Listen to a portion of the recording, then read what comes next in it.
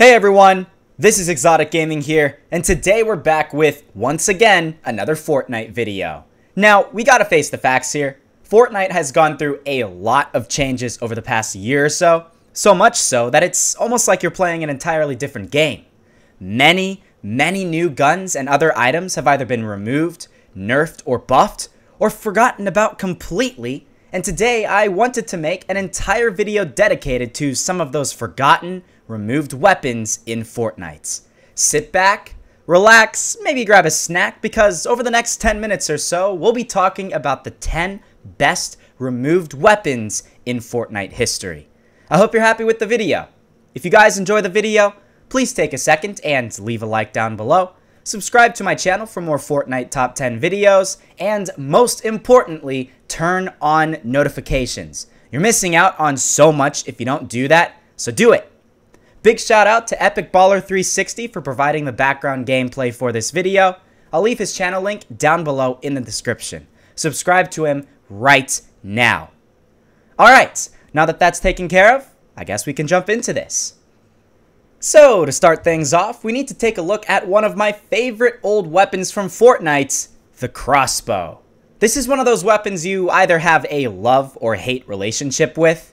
Some people love it and some people hate it. I personally am one of those people who love it, and it's not because it's a powerful weapon, because it isn't. Anyone who's used it knows how much of a pain the crossbow really is. It takes multiple shots to kill a full health enemy, and since you're just shooting an arrow, the travel time for long distance shots is immense. It is ridiculously difficult to get a kill with this thing at close, medium, or long range, and I guess with that combination of overall uselessness, Epic Games decided to remove it from the game.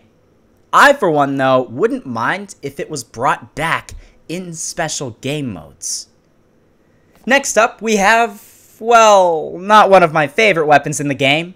In fact, I rarely ever use this gun because I absolutely hated it. The six shooter. Yes, at times it could be pretty cool, and I have to say, when you get up close and personal to someone who has a shotgun and you somehow manage to hip fire this thing at the enemy and still kill them, it has an awesome feeling, but that doesn't change my overall feeling towards the gun. It's basically a worse version of the regular revolver. It should have been in the game for a much shorter period of time during that Halloween event. The Halloween event ended up being way longer than it should have been, going way into November, and well, because of it, people started hating the gun. Do you guys like the six shooter? Who remembers that time where all you needed to do was spray and pray in order to win a gunfight? Yeah, dark times. We choose to forget that time. Fortnite's gotten a lot better about that, but unfortunately, the removal of spray and pray meta has come at a cost, a cost of certain weapons being removed. The light machine gun is a prime example of this. This gun wasn't in the game for very long, and unfortunately, it never really found its true place in Fortnite. At long range, it was super inaccurate, and at close range, I mean, you could use a shotgun or SMG and get far better gameplay. That left the light machine gun to really only be used at medium range, but that's where the rifles and the minigun came into play. So did people really ever use this thing? Not too much you only really saw noobs using it, and because of that, the LMG was vaulted. It's a sad day whenever I talk about the original revolver, man. I love this thing. It's such a shame this was one of those weapons that got removed from Fortnite. The sad truth is, this was one of those weapons not enough people were using. Back in the olden days, yeah, a lot more people used the revolver, but that was only because there were less weapons in the game in general. Now, with a gun with little damage and a slow firing rate, there really is no place for it in the game. Epic Games can certainly add the revolver back in for certain special game modes, as I feel like it could work well in them. You could use the revolver in the sniper only game modes, for example. Epic Games, let's get this thing added back into the game. Now, what list of removed weapons would be complete without me mentioning the suppressed submachine gun? Yes, this came as a surprise to me when it was first removed from the game. I thought since they had buffed it a bit, and since the blue version of it was actually quite powerful, especially at close range, it was going to stay in the game for quite some time. Turns out that's not the case at all. For whatever reason, I guess not enough people used the suppressed submachine gun, and in turn, it met its fates. I think this has a very big possibility of returning. Yes, we do know Epic Games doesn't want too many of one single class in the game, and they've specifically said this in person, but I feel like if any of the removed weapons came back, this would probably be the one. You guys saw it coming, and I guess the time to talk about it is now. A gun everyone suspected might be removed, but definitely not as soon as it did. The double barrel shotgun. At the closest range possible, this was without a doubt the strongest shotgun in Fortnite. I guess it makes sense. If you look at other games with double barreled shotguns, generally they're pretty powerful as well. However, in Fortnite, the double barrel struggled to find its spot in someone's loadouts. People wanted shotguns with a bit more range, and that's why the pump and the tac have stood out and reigned supreme over this gun. Only time will tell if the double barrel shotgun will ever return. My second favorite weapon on this list is a gun that made me feel quite surprised when it got removed. The Burst Assault Rifle. Yes, it is true, a lot of people didn't like this gun. I mean, you can take Tfue, for example. He absolutely hated it. You can look at any stream highlights ever and see him talking about it. But hey, I really enjoyed this gun because with the burst mechanic, getting all headshots in such a short amount of time was just the most satisfying feeling ever. I mean, dude, you could instantly take out someone peeking their head over their build way quicker than you could with a regular AR.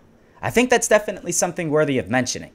However, in early game, if you got this from a chest in Tilted Towers, for example, you were basically screwed. So I guess that's why it was removed. A gun none of us has ever seen in Fortnite before, mostly because there is literally only one recorded sighting of it in the game, is the Zapotron. Doesn't it just sound insane? Well, it was, my dude. The Zapotron was a charge-up weapon released in one of the very early versions of Fortnite's, but it never really was widely released. It was extremely rare. They said it came from airdrops, but only one person ever found it. And in fact, it was the rarest weapon ever in Fortnite. It actually took a very special type of ammo called charge ammo that also never came into the game. I really wish I was lucky enough to see this thing in game. And hey, maybe eventually Epic Games will release it back into Fortnite. Perhaps there will be an electric themed season in the future, and maybe this will finally find its place in the game.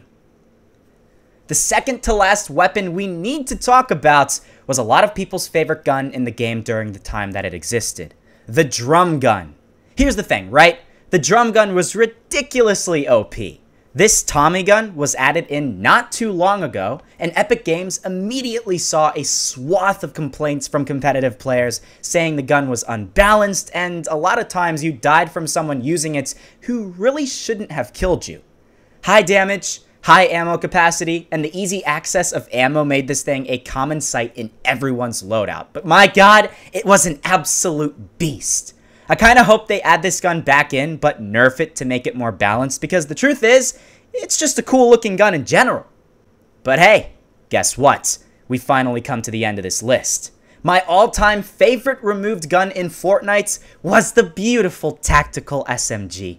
I am still so salty this gun was removed, guys. You don't even understand. This gun has gotten me through so many intense moments, and I owe it all to the Tactical SMG.